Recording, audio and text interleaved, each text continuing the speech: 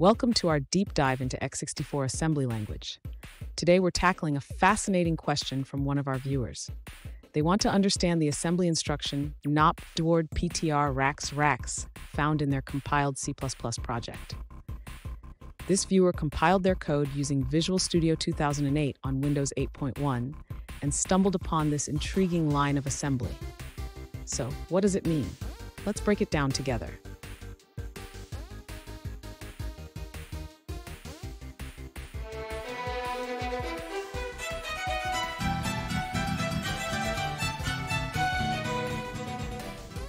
Welcome back to another technical video. Today, we'll go through your question, go through the answers for it, and hopefully that brings you to your solution.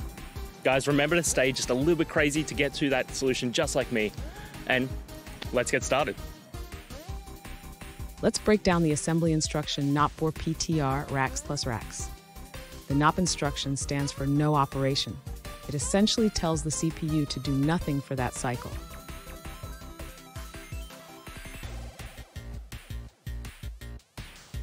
In this case, the NOP instruction is followed by an operand, dword PTR rax plus rax. This operand indicates a memory address calculated from the value in the register rax.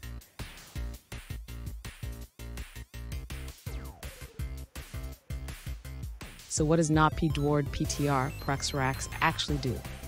It effectively means that the CPU will perform a no operation at the memory address calculated by doubling the value in rax.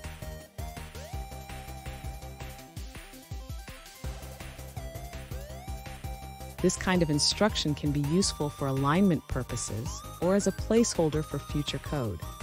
It allows the compiler to optimize the code layout without affecting execution.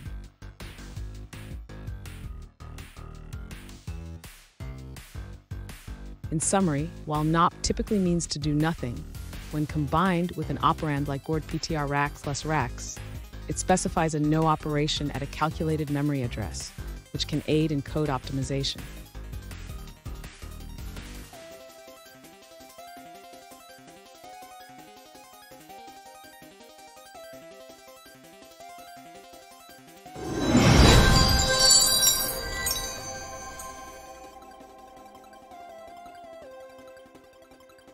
Let's now look at a user-suggested answer.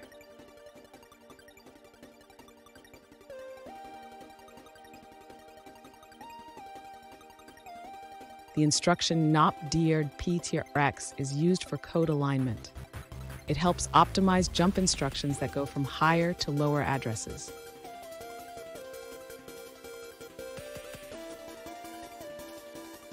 This alignment is crucial for jumps that use negative offsets, ensuring better execution speed.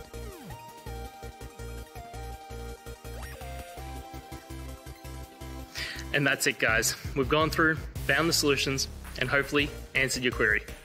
If it did, please hit subscribe. I really appreciate it. And until next time, hope you have a good one. Cheers.